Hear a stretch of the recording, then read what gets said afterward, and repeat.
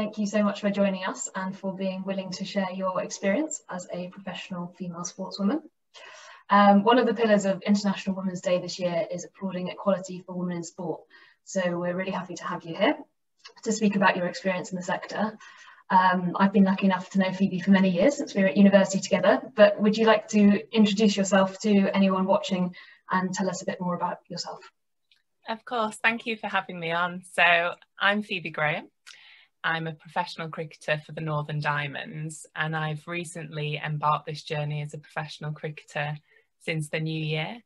Prior to that, I was a marketing lead at Sky Sports and managed Liverpool TV, Man United TV, and their wholesale partners Virgin and Vodafone. So it's been quite a transition over the past two, three months, but I'm absolutely loving it and being able to dedicate my time full time as an athlete feels an absolute privilege because I've been juggling sport, county cricket and career and work since I was probably 18, 19. Um, so yeah. And what led you to um, to make the change into professional sport? So the start of 2020, the ECB invested 20 million pounds into the women's game over the space of two years. And as part of that, there was 40 domestic contracts introduced into the game. So prior to that, only the England team were paid to play cricket um, and county players. So I played for Yorkshire, for Berkshire, for Devon. You just played for fun and played for the competition. So as soon as that announcement came out, I felt like there was something to work towards and I really shifted my focus and attention to cricket and trained as hard as I could. And I remember February last year ringing my mum saying, I think I want to be a professional cricketer and I think it's possible. So yeah, despite COVID, they still um, invested in the women's game and they um, gave out the 40 contracts November last year, which was when I made the decision to be a professional cricketer. Brilliant. And how does that investment compare to the male, your male counterparts? Um, I guess to give a little bit of context, the men's game has always been professionalised. So England level, county level, and there's about 30 counties with 30 male contracted players where the salary starts at like 25k a year, say, and they progress upwards. For the women's game, 10 years ago, England women pay, paid to play around the world. So they sacrificed everything to be an England cricketer. And then in 2014, so seven years ago, 18 female cricketers got the opportunity to be full-time professionals.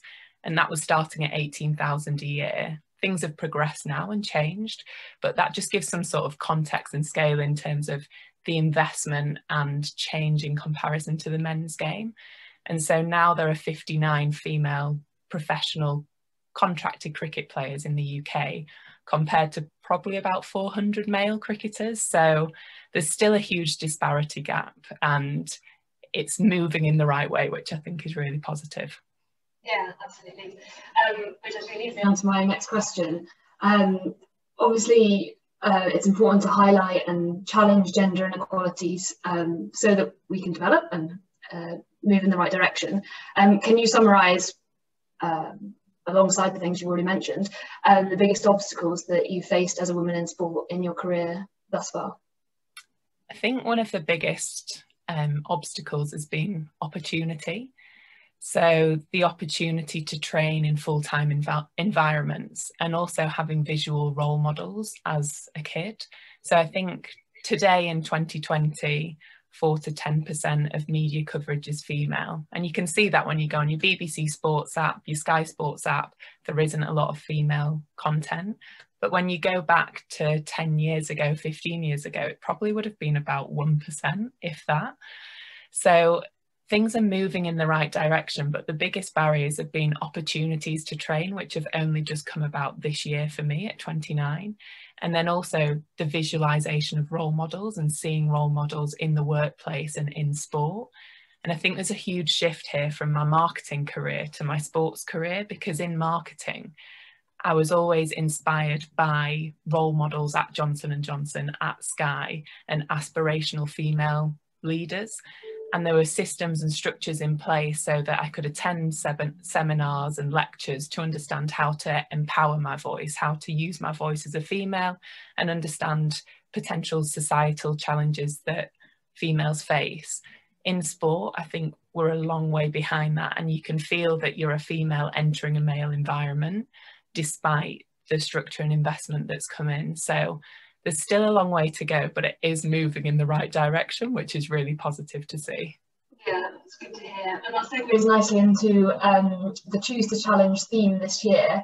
Um, what are you, uh, that's the International Women's Day theme.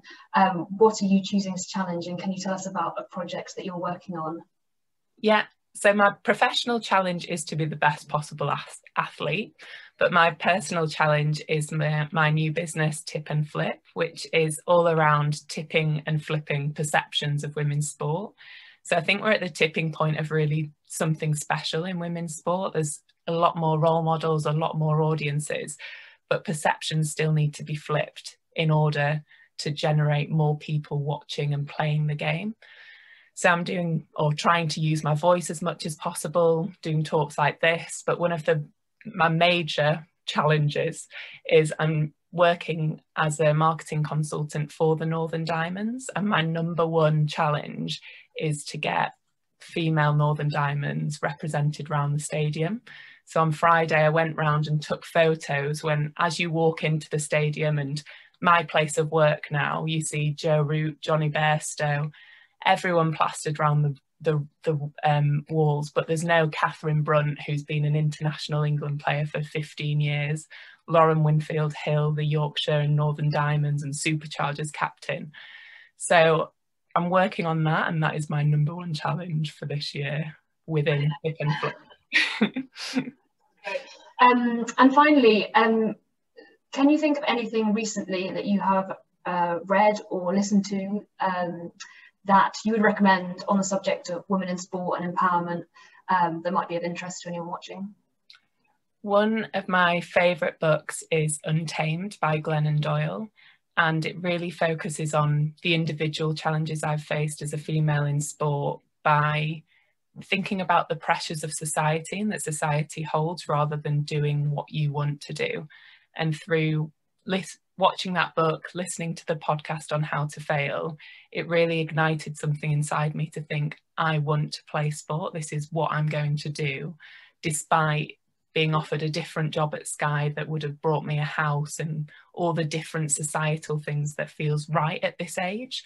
So that was something that's not directly linked to sport, but really, really empowered me as an individual to think differently. Brilliant. Well, that's a lovely, um, empowering and uplifting um, thought to finish on.